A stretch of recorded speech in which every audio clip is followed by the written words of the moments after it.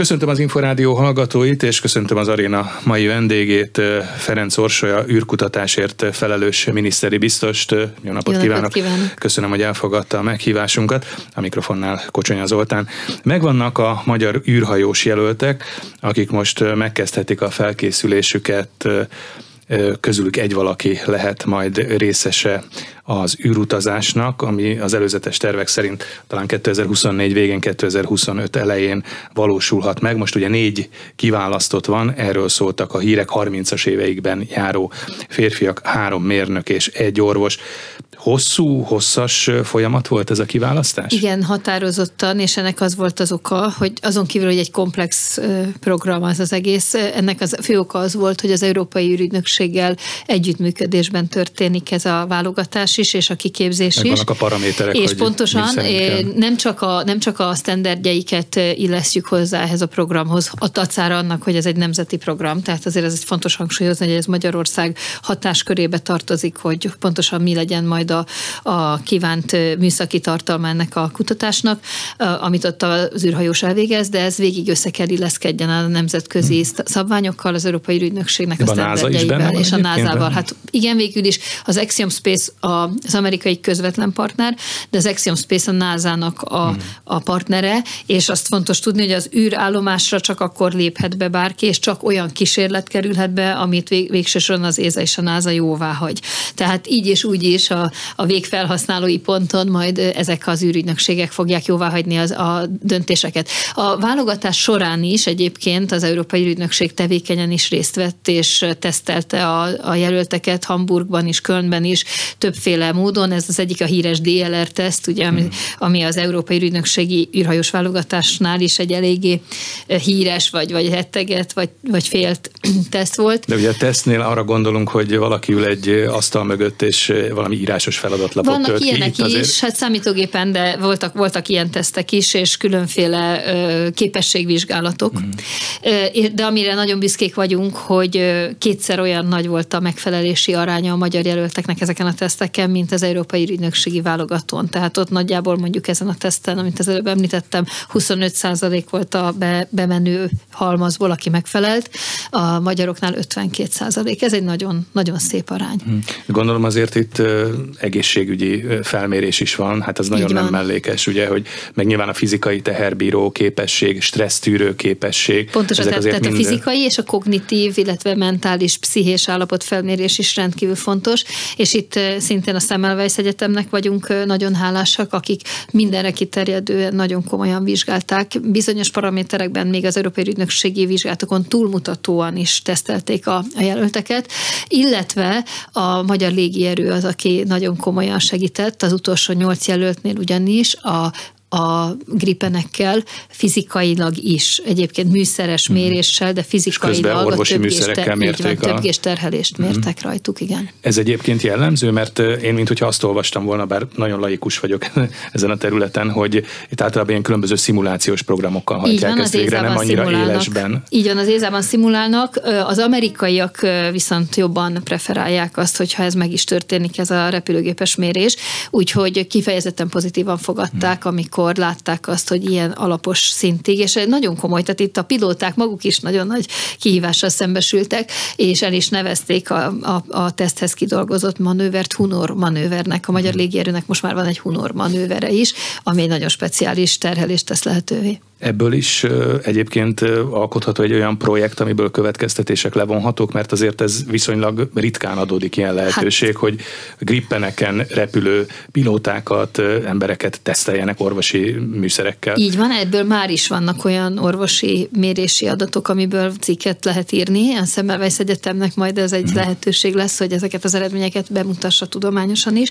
Tehát már van tudományos hozadék a programnak, pedig még igazából most kezdődik el a, a, az igazi nagy része a programnak, illetve ami fontos az azt látni, hogy egy ország így is tud kompetenciát kialakítani. Ez egy tudományos kompetencia is, valamint ez egy feltörekvő, nyíló, táguló, növekvő piac. Tehát azért itt nagyon sok űrutazás fog indulni a közeljövőben, amint megvalósulnak az évtized második felében a hold körüli állandó bázisok, illetve a hold felszíni bázisok, annak nagyon sokszor kell majd új személyzetet biztosítani, és azok az országok, akik be tudnak kapcsolódni ezekbe a válogatókba, ezekbe a kiképzésekbe, azok ugyanúgy, ahogy annak idején a nemzetközi légiforgalomban megnőtt a pilótákra az igény, ugye egyre Igen. több pilótát kellett találni, az egy szolgáltatás, hogy ilyen embereket hogyan lehet szűrni, tesztelni a képességeiket, és, és ebben Magyarországnak már most van bizonyított kompetenciája. Nyilván itt egy többkörös, sokkörös tesztelés volt és válogatás volt, mert azt olvastam az első körben azért itt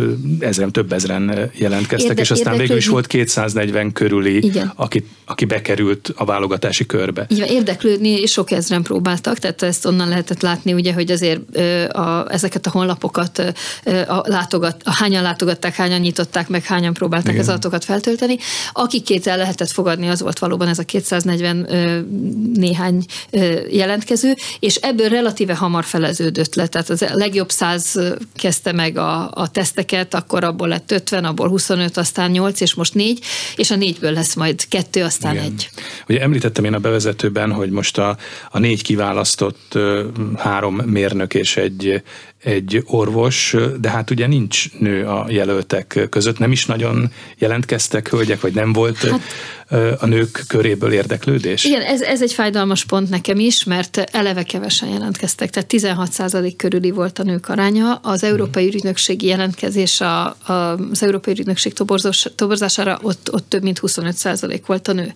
Na most ugye, ha négyből egy nő, az 25%-a a négynek, tehát én nagyon örültem volna egy picit magasabb a bemenő női létszám. Igen, meg azért, hogyha körbenézünk, akkor hát például az Egyesült Államokban azért egyre több a, a női Igen. űrhajós, de hát emlékezhetünk a szovjet időkből, ugye Valentina Gyereskovára, az első nő volt a, a világűrben. Ráadásul most éppen utána olvasgattam, és az nagyon érdekes, hogy őt amúgy e, tulajdonképpen mindenféle tapasztalat nélkül választották ki, textilgyárban dolgozott, és mondjuk ejtőernyőzött, de nem volt semmiféle olyan tapasztalata, ami erre predestinálta Igen, és, és, és az egyes, egyes beszámolók szerint volt is ebből problémája. Tehát azért uh-huh. ez mhm. nagyon-nagyon nehéz volt az az űrutazás, de az a hőskor volt. Akkor Igen. mindenki az ismeretlenbe indult, bár az, az Európai Ügynökségnek most is az a jelszava, hogy az ismeretlen ismeretlennel dolgozunk, working with the unknown, tehát hogy most sem tudjuk sokszor, hogy mivel nézünk szembe. Ez a dolog, az a műfaj sajátja, de ettől függetlenül a nőkre nagyon nagy szükség van. A koedukált személyzet szokott a probléma megoldásban a legsikeresebben teljesíteni. Tehát egész egyszerűen a probléma megoldás sokszor az, hogy egy konfliktus helyzet, ami azért elég könnyen kialakul egy nagyon nagy stressz helyzetben, izolált hát környezetben. Igen, akkor, akkor segít közegben. az, hogy, hogy egy ilyen, egy ilyen koedukált, sokszínű legénység vagy, vagy személyzet van a fedezeten. Hát a nők probléma megoldó képessége, ez sok mindenen átsegít, gondolom a világűrben is. Hát hogy ne, tehát tényleg én azt gondolom, hogy itt amin el kell gondolkodni, és ahol dolgunk van, az az, hogy erősíteni kell a magyar nők önbizalmát úgy egyáltalában is, és a STEM szektorban kivált kép, mert egyébként nagyon komoly és rendkívül tehetséges nő, nők vannak Magyarországon. Úgyhogy én azt remélem, hogy ha a program folytatódni fog tudni, akkor egy következő hívásra sokkal több nő fogja már elküldeni bátran az önéletrajzát talán én ebben látom azt, hogy miért jelentkezett kevesebb, mint az európai átlagban. Megtörtént tehát a kiválasztás, négy jelölt van. Mi jön most? Mi lesz a következő fázis? Most ugye jön egy jó másfél éves időtartam, ami nyilván a felkészülés és a rákészülés. Így van, elindulnak azok a képzések már a kiképzés részeként, amiket az Európai Ügynökséggel közösen hajtanak végre a magyar szakemberek. Ebben lesznek olyan részek, amiket teljesen az Európai Ügynökség végezel, lesz, amit a magyar szakemberek fognak elvégezni. Ezért az első néhány hónapnak a helyszíne Európa.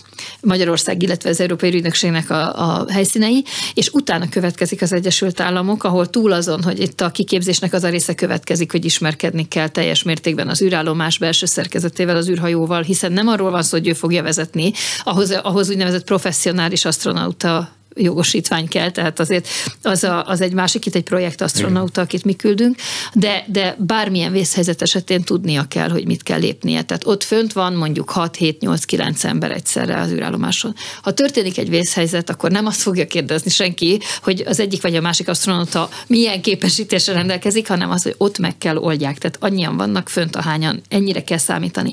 Ezért ez is hozzátartozik, és elindul a kísérleteknek a betanulása, ami az ő tudományos munkájának a lényegét fogja képezni. És az itt nyújtott folyamatosan kiértékelt teljesítmény végén... Tehát közben is van azért egy tesztelés. Van. Hát foly- maga, maga a kiképzés is egy teszt. Uh-huh. Mindenféle paramétert figyelnek megállás nélkül, és akkor derül ki az, hogy végül is a szakemberek, a nemzetközi szakembergárda kint javasol első helyen majd a programra. Egy valaki lesz majd a négy jelölt közül, aki elindulhat a nemzetközi űrállomásra. A másik három jelöltnek megköszönik és elbúcsúznak Nem. Tőle? Itt igazából már mind a négy jelölt alkalmas fizikailag vagy mentálisan egy űrhajós projektasztronauta uh-huh. kiküldetésre. Ezért ezek óriási érték egy ilyen űrhajós csapat, vagy mag, vagy tím, tehát semmiképp nem szeretnénk lemondani egyikőjükről sem, tehát részét fogják alkotni a programnak. Hát először is a tartaléknak végig jelen kell lenni, hiszen bármi történhet, tényleg Igen, bármi az utolsó pillanatban is.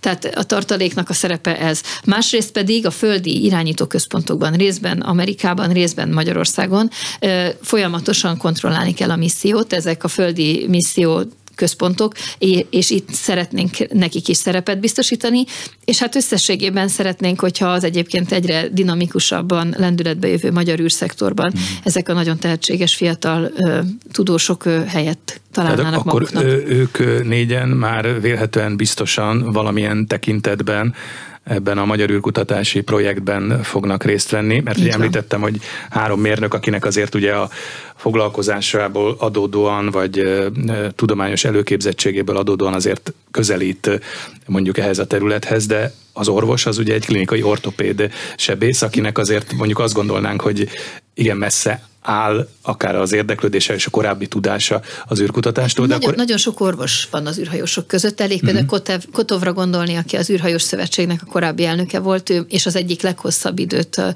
világűrben töltő, legtöbb űrsétát tevő űrhajós, tehát nagyon sok rekordot tud maga mögött, és ő is orvos.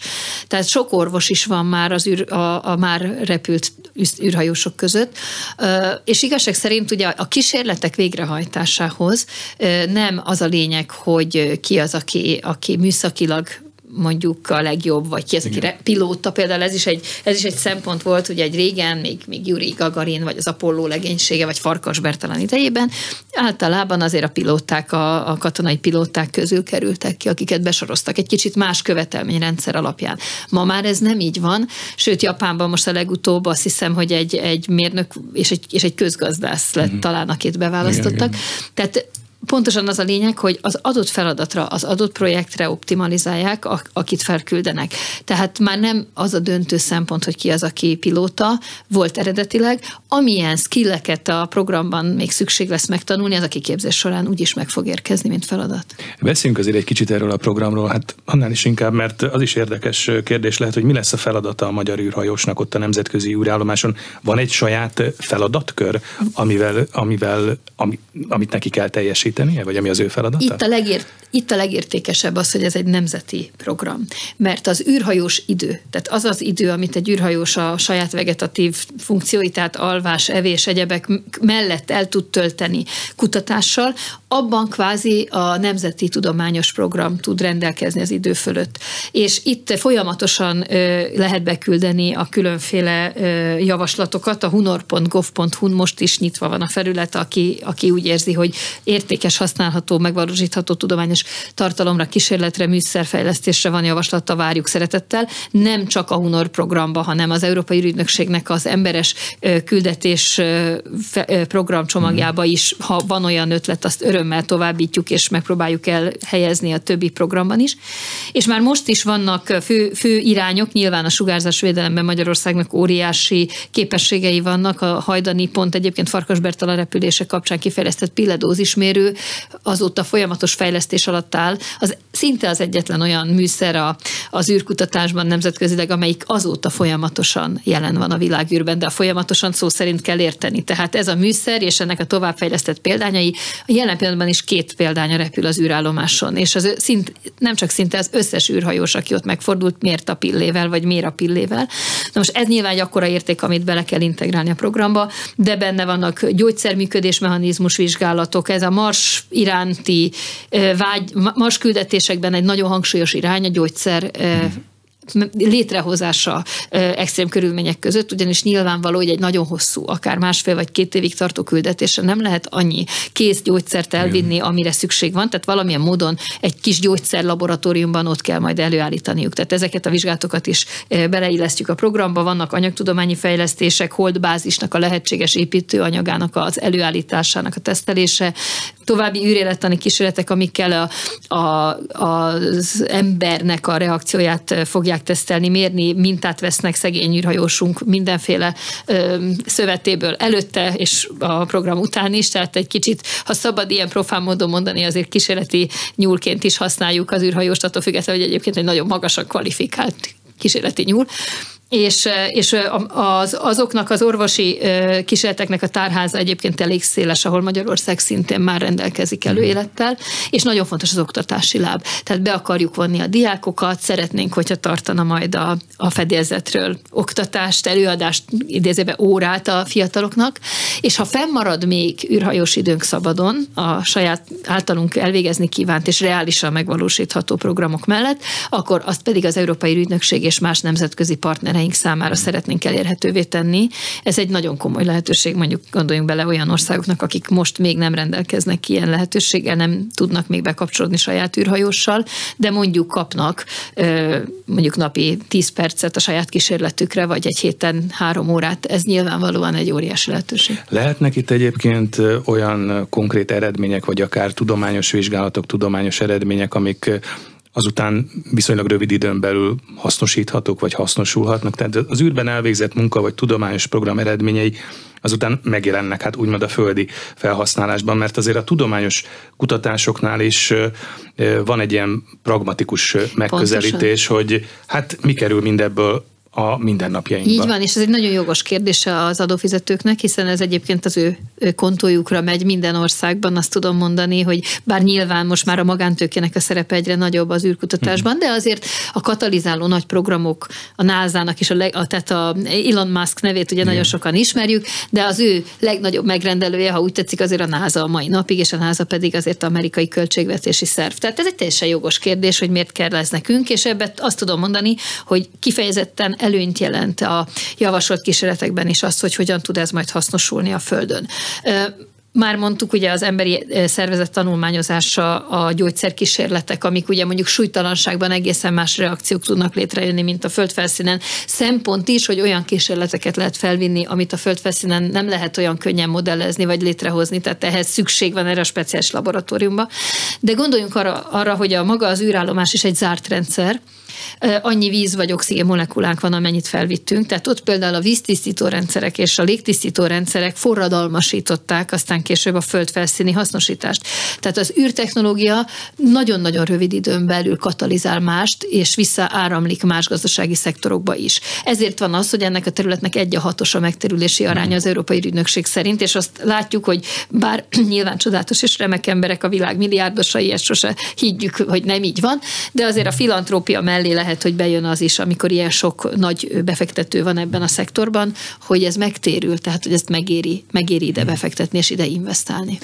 Ezek a például a magyar eszközökkel végzett tudományos mérések vagy tudományos vizsgálatok vélhetően milyen kör számára lesznek ennek az eredményei elérhetők vagy hozzáférhetők mondjuk egyetemi szinten, a Magyar Tudományos Akadémia szintjén, és egyértelműen mennyire lehetnek ezek nyilvánosak? Hát ez esete válogatja, kísérlete válogatja, hiszen itt szellemi tulajdonról van szó.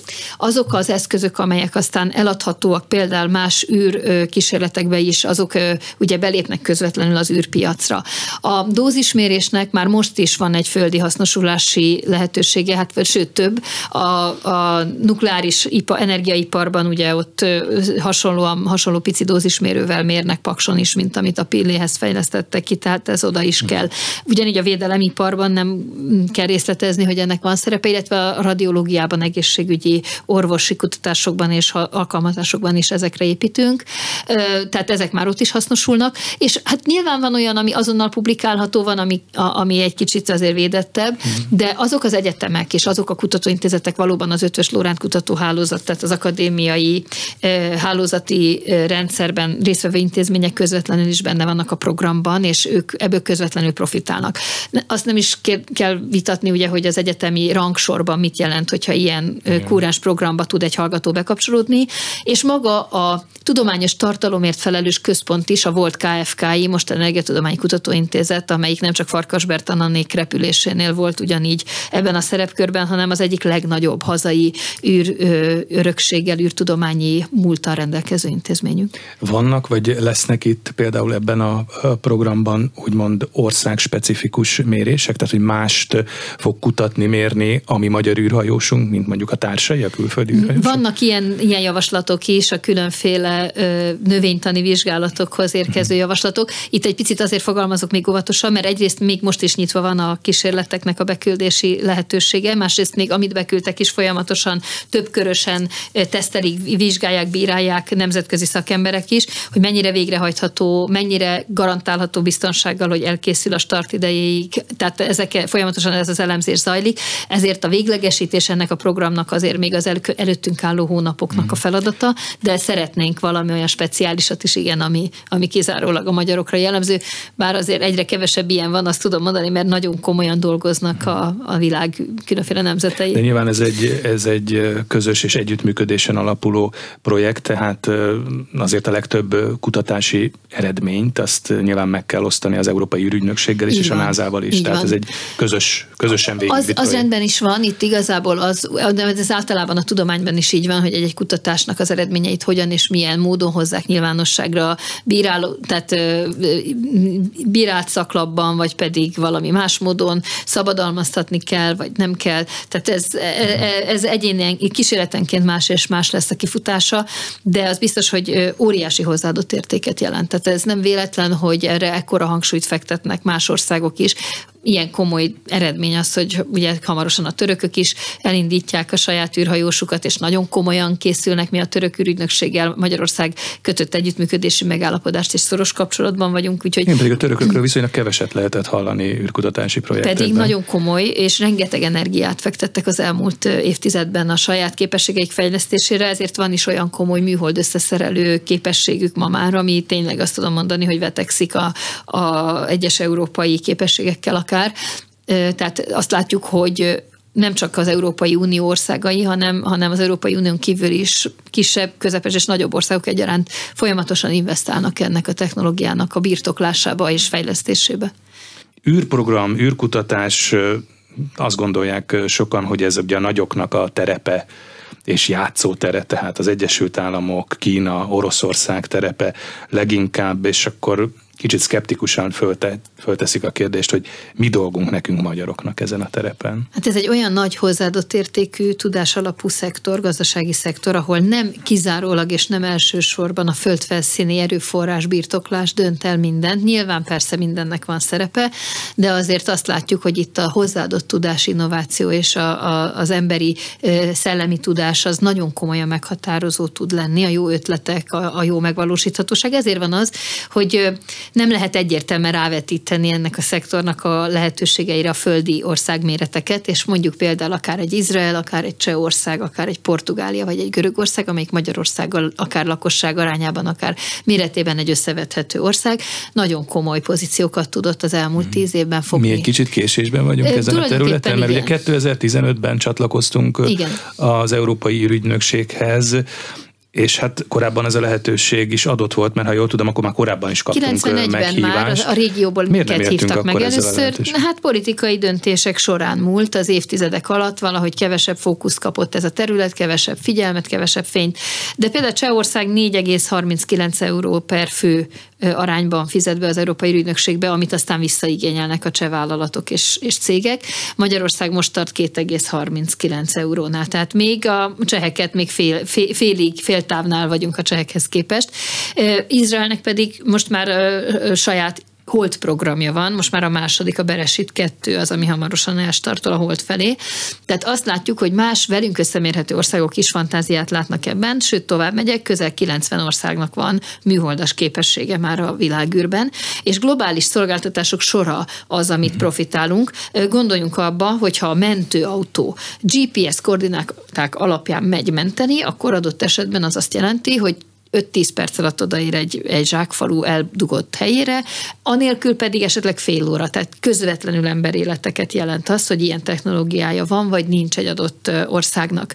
Ebből nem, nem, nem is lehet kimaradni már akkor sem, ha akarnánk, de nyilvánvalóan, ha van képességünk, tudásunk és lehetőségünk, már pedig van, mert 75 évnél is mhm. régebbre nyúlik vissza ez a terület Magyarországon. De mégis volt egy hosszabb szünet, ugye? Hát, hát azért eltelt több mint 40 év inkább azt mondom, azóta, hogy, volt. hogy magyar űrhajós akkor először és ez idáig utoljára Farkas Bertán személyben. Igen, az űr, űrhajós szempontból valóban, de az űrkutatás azért sok területen automatikák fejlesztése, robotikai, hmm. robotikai feladatok megvalósítása, több ponton is dolgoztunk, és folyamatosan dolgozott a szektor, csak valóban kevesebb pénzt, kevesebb figyelmet kapott, mint amit a többi országokban. Azért voltak erre vonatkozóan tervek, mint hogyha arra emlékeznék, hogy, hogy az Antal kormány tervezett egy önálló űrprogramot indítani. Így van, aztán ez, ez volt is a Magyar Szat projekt, és, és Pungor Ernő volt akkor a területért felelős igen. miniszter, és ez volt a Magyar Szat projekt, ez egy geostacionárius műhold program volt, ami aztán 94-ben a, a kormányváltás után megállításra került, és így aztán erről lecsúsztunk, és ha belegondolunk abba,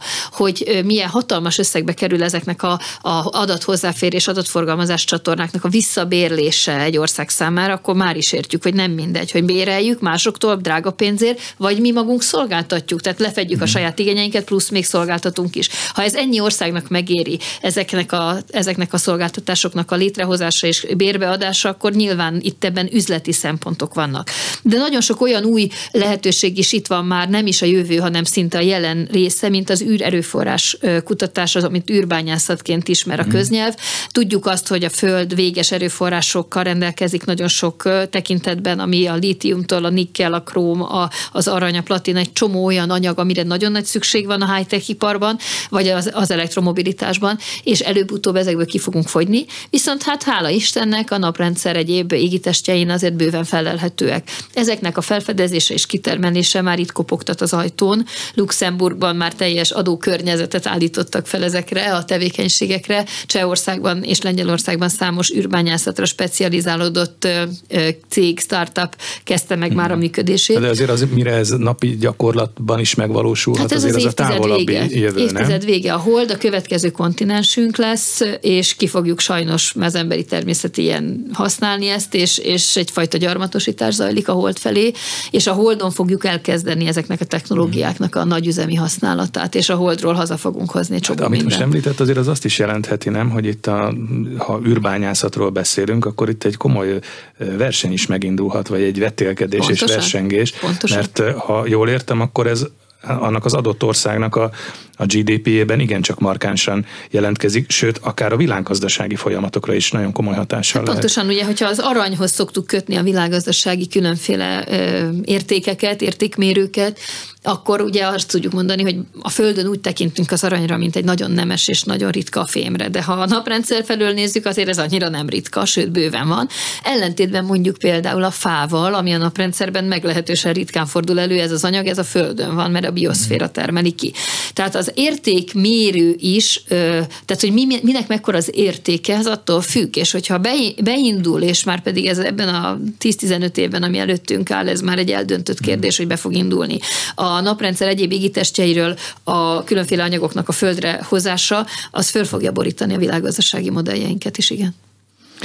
Anyagiakról is beszéltünk, és elhangzott az, hogy 2015 óta vagyunk az Európai Ürügynökség tagja, és különböző számadatok is elhangoztak, hogy ebben a mezőnyben mi hol is vagyunk ilyen ráfordítás tekintetében, de anyagi vetületében ez, ez a tagság ez mit is jelent? Ugye itt ilyen éves befizetés van. Így van, ez egy éves befizetés, és a befizetés arányában, tehát ez nem maradott, nem ragadott, nyilván a, a, a kurui kilővállás és pár dolog az mint, mint rezsi, az jelentkezik, Igen. tehát a tagállamok közösen viselik ezeket a terheket, de azon felül a Return a földrajzi visszatérítés elve alapján visszatérül az adott országnak az űrszektorába, az űripari cégeihez, egyetemeihez, akik a mhm. pályázatokon ezáltal indulni tudnak. Hogy egy példát mondjak, a Jupiterhez elküldeni egy szondát egy akkora ország, mint Magyarország, hát erőn felül meghaladná a képességeinket, és felesleges és ekkora erőfeszítést tenni. De az Európai űrügynökség közös programjában nagyon sok magyar kutató vagy cég be tud kapcsolódni így ezen keresztül egy közös misszióba.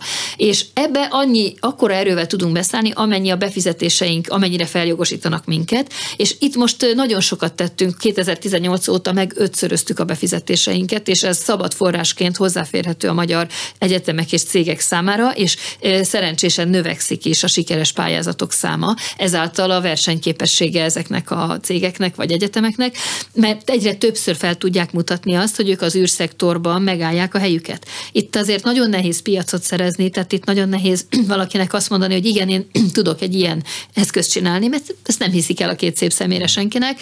Ehhez vannak ezek az úgynevezett missziók, ahol bizonyítani tud egy eszköz, és hogyha sikeresen megállt a helyét, az onnantól kezdve már egy űrpiaci termékké tehető, tehát termékesíthető. Ez egyébként az űrhajós programnak is szempontja, hogy olyan kutatásokat javasolnak az űrügynökségek, amelyek később termékesíthetők. Ha már így számokról és anyagiakról beszélünk, akkor az amúgy számszerűsíthető, hogy mennyibe kerül Magyarországnak, hogy most legyen egy újabb magyar űrhajósunk, aki Igen. mondjuk eljut a nemzetközi űrállomásra? Abszolút, ez annyira, hogy a közlönyben, amikor a kormány ezt a programot elfogadta, hogy, hogy legyen egy ilyen nemzeti kutatóprogram, akkor 99 millió dollárban szabta meg ennek a keretösszegét, aminek egy jelentős része egyébként el sem hagyja Magyarországot, mert a tudományos műszerek fejlesztésére, illetve azoknak a mérnököknek és, és tudósoknak a fizetésére fordítódik, akik a mhm. programban részt vesznek.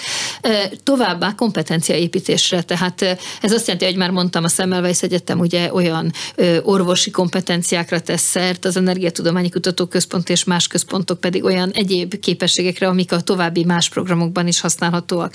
De hogy mekkora volumene van egy ilyen az egész űrszektornak, a, a, a JP Morgan azt mondja, ha jól emlékszem, hogy 2040-re 1000 milliárd dollárra várják a közvetlen űriparnak a méretét, és ebben nincsenek benne a globális egyéb szolgáltatások, tehát az, hogy mondjuk a távközlés telekommunikációban mekkora piacnövekedésre számítanak. Tehát a közvetlen űripari bevételt azt ezer milliárd dollárra teszik. Ez egy óriási, óriási szám, amit mondtam. Ez azt jelenti, hogy az egész világ ebbe az irányba igyekszik. Ezt le is lehet ott mérni, hogy a, a globális pénzpiacokon ezek a, ezek a disruptive technologies-nak nevezett, vagy space fundként bevezetett termékek, ezek nagyon, nagyon stabilan állják a helyüket. Válságálló iparák, tehát a Covid-ban láttuk azt, hogy, hogy épp hogy egyre nőtt a szerepe ugye távoktatás, távmunka, rengeteg technológiára alapozott kapcsolattartás volt, miközben mondjuk a turizmus megsínlette a Covidot. Ez egy reziliens iparág. Ezek mind a, a mellette szólnak, hogy miért kell egy országnak itt fokozni az erőfeszítéseit.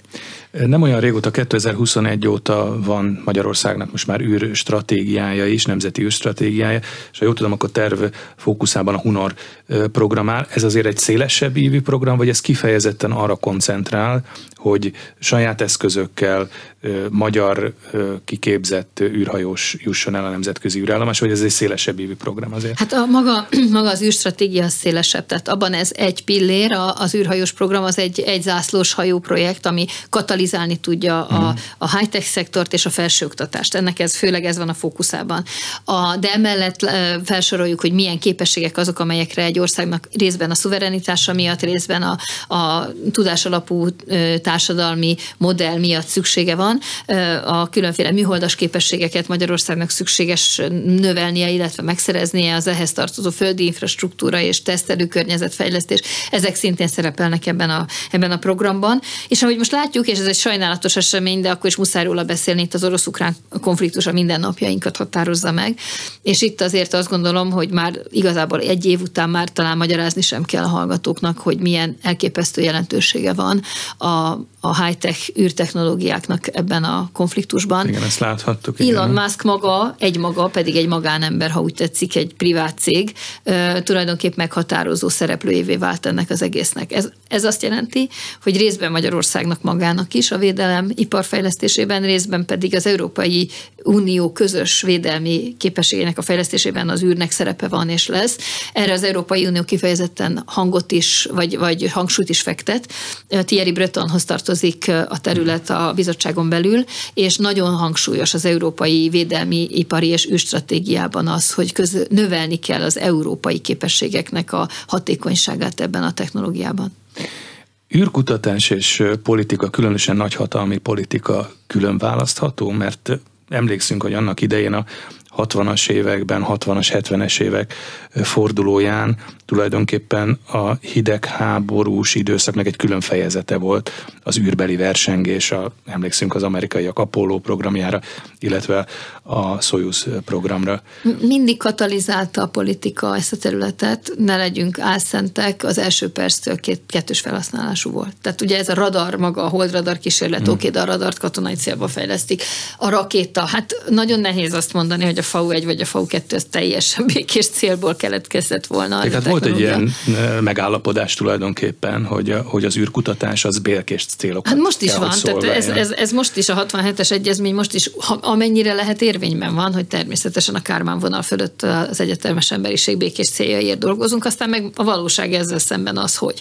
Tehát rengeteg katonai műhold van, a holdon is nagyon nagy kérdés, hogy ki mit fog tenni, és ki mennyire fogja hmm. betartani a földön hozott jogszabályokat majd, tehát ezek nyitott kérdések, a jog messze lemaradt a technológia mellett, de hozzáteszem, hogy a, a katonai célú alkalmazások egy kicsit inspirálták is a versenyt, hiszen a maga hidegháború is, az az űrverseny, az nagyon sok mindent katalizált.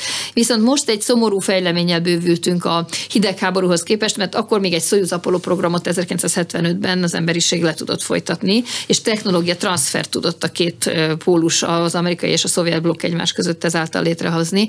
Most, most erről szó nincs. Tehát most olyan mértékig... Tehát rosszabb a helyzet, mint a hidegháborús időszak. Annyira beszűrődött ez a konfliktus az űrszektorba is. Hozzáteszem természetes módon, hiszen ahogy a konfliktusban is láttuk, vagy látjuk, ezek a technológiák adott esetben meghatároznak egy kimenetelt a hadszintéren is. Most, most nem tudnám elképzelni azt, hogy technológia transfer folyjon. Jelenleg sajnos a szankcióknak köszönhetően. Ez mind, mind a szankciók következménye, illetve az, hogy most arra tulajdonképpen a nyugati világ megszakította a kapcsolatokat Oroszországgal, mert igen. voltak olyan tervek, nem is olyan régen, hogy, hogy közös űrrepülése indul amerikai és orosz astronauta. Az még, az az egy még megvan, az tehát még az van. ISS még nem, még nem adta fel, tehát egyetlen uh-huh. felület van, ahol még együttműködnek a nagyhatalmak, és az pont a nemzetközi űrállomás, és az űrhajósoknak az utazása, Szójúzzal, illetve Dragonnal, de ezen túl szinte mindenben megállt, vagy nem is állt meg, hiszen most nem két pólus van, hanem ott van az Egyesült Államok, Oroszország, Kína, óriási űrhatalom, India, az európai országok, az arab országok, tehát számos egyéb versenyző is van a térképen. És például az oroszok kiszálltak a holdbázis programból, amit az amerikaiak és az európaiak közösen hajtottak volna végre, és csatlakoztak Kínához, és közös kínai-orosz holdbázis programjuk van, aminek a határidejét egy kicsit előre is hozták a tervezet 2035-ről. Azzal, hogy ez a két nagyhatalmi dominancia már a múlt, és ahogy említette, most már beszélt, itt van Kína, India, Japán, sőt Szaudarábia, arab országok is.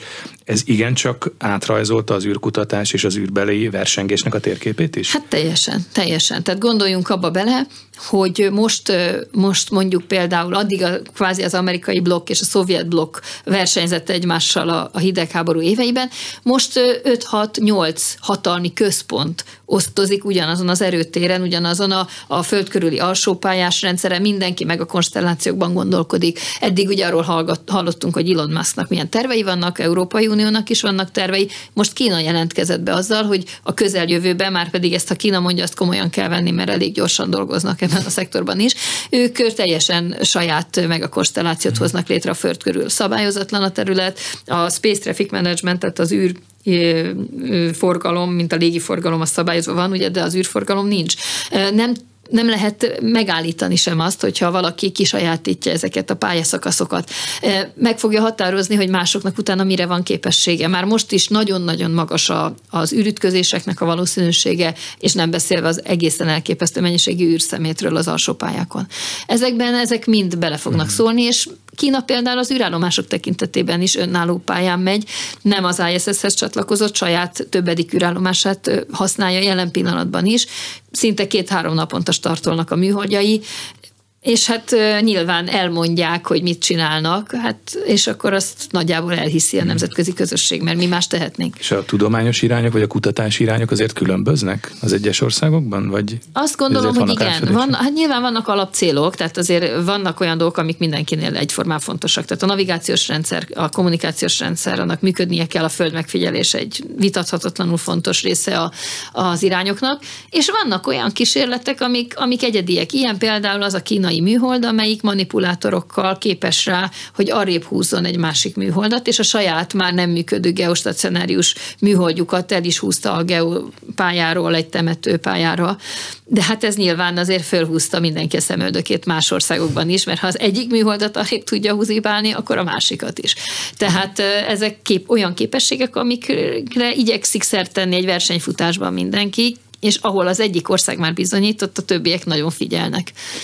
Többször szóba került már a hold például az űrbányászat kapcsán, vagy hogy azért ismert, hogy speciális állapotú anyagok vannak a holdon, olyanok is, amelyek a Földön vagy egyáltalán nincsenek, vagy csak nagyon drágán állíthatók elő. Ha, ha űrkutatás, akkor most azért mindenképpen a hold lesz, vagy már fogalmazhatunk jelen időben, a hold van a középpontban? Hát a hold az már igen, tehát a holdra gyakorlatilag ennek az évtizednek a végére meg fogunk érkezni emberes És stratégiailag is fontos a hold, Rendkívül. nem csupán a az ott található anyagok, hát, ásványi anyagok, nemesfémek nyilván szempontjából? az izotópok, ugye regolitot mindig mondják, ami a fúzióhoz kétségtelenül egy közelebb vívő lépcsőfok lesz, de hát azért ne felejtsük el, hogy a hold ez egy fix pont, nagyjából 380 ezer kilométerre a föld felszínétől, és mindig ugyanazzal a felével fordul a föld felé.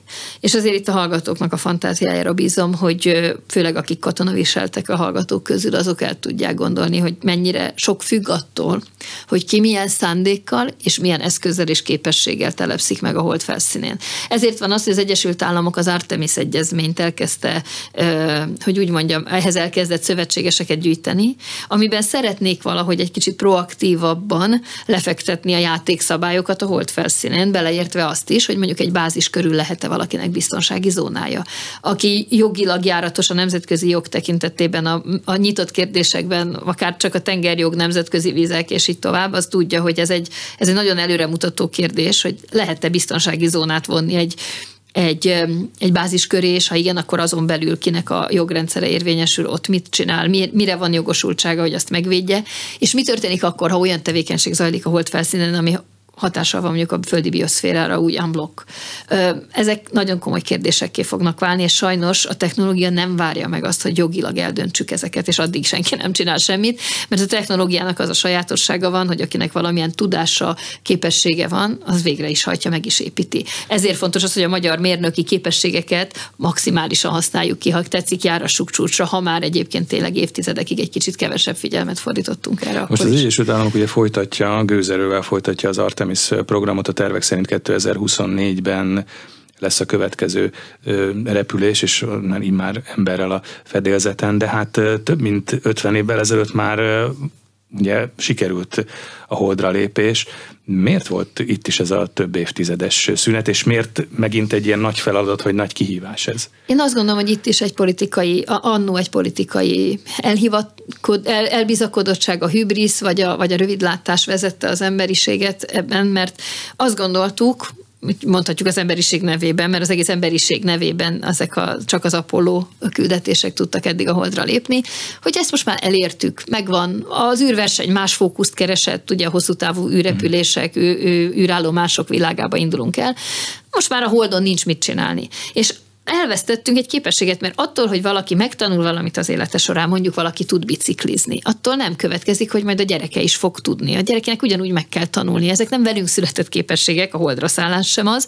És elengedtük ezt a történetet, nem vettük észre, hogy, hogy ez milyen súlyú. És most, amikor sok versenyző van, és más országoknak a, a a kutatóinak a fantáziája élénkebb volt, mint az elmúlt 50 évben az észak-atlanti tömbé, ha szabad így fog, vagy a nyugati világi, ha szabad így mondanom. Így most, most utólag kapcsoltunk, csak sajnos 50 év az 50 év, és ez nagyon sok. A újbóli tervezett holdra lépés, ez segítheti a tovább lépést majd a Mars irányába, vagy a Mars felé valóban egy jövőbeni Mars misszió, hát úgymond ugródeszkája lehet a hold? Hát mindenképp, tehát ugye eleve a, a hold gravitációja jóval kisebb, tehát ha ott honnan indul el egy küldetés, akkor jóval nagyobb hasznos teher arányal lehet elindítani a Mars felé, meg egy csomó mindent már nem kell a Földről el, elvinni, mert ott van a holdon, és csak kvázi a mi űr felé ez egy dobbantó deszka lesz. Én azért azt gondolom, hogy itt a Marsra embert küldeni egyelőre addig, amíg a sugárzásvédelemben nem fogunk egy kategóriát váltani, addig nem nagyon látom értelmét. Etikátlannak tartom, mert olyan mértékű károsodásnak tesszük ki szinte bizonyíthatóan az űrhajósainkat a hosszú űrutazás és a marson tartózkodás alatt, ami gyakorlatilag egy halálos ítélet. Akkor van értelme életet, embert küldeni bárhova, hogyha legalább az esélye megvan rá, hogy vissza is tudjuk hozni. Ez az erkölcsi minimum. Tehát én egyelőre azt gondolom, hogy a marsra az automatika elég, a robotika elég, ott nagyon fontos és jó kísérletek tudnak zajlani, és ha kategóriát, dimenziót váltunk tényleg a sugárzásvédelemben. Egyébként pont a holdi kísérleteink mm. alapján, tehát ha valahol kifejlesztjük ezt a technológiát, az is a hold felszíne lesz, akkor már van értelme gondolkodni a Marson. De akkor se senki se úgy gondolja rá, hogy a, ez a Planet B, ez a B-terv, ahova majd elmenekülünk. Hát ha mi a Marsot tudnánk terraformálni, hát az ég áldja meg, akkor előbb kéne a Földet lassan. Tehát mm. itt van nekünk egy tökéletesen ideális bolygó. Jó a, jó a gravitációja, van rajta folyékony víz, van rajta belélegezhető levegő, amit épp most igyekszünk tönkretenni, tehát először talán a Földet kéne ha úgy tetszik, vissza terraformálni, és a saját eh, környezetromboló tevékenységünket megállítani, és aztán gondolkodni azon, hogy mit teszünk a Marson. Köszönöm szépen a beszélgetést. Az elmúlt órában Ferenc Orsolya űrkutatásért felelős miniszteri biztos volt a vendégünk itt az arénában. A műsor elkészítésében Ilis László és Király István Dániel felelős szerkesztők vettek részt. Én Kocsonya Zoltán voltam. Köszönöm, hogy velünk tartottak.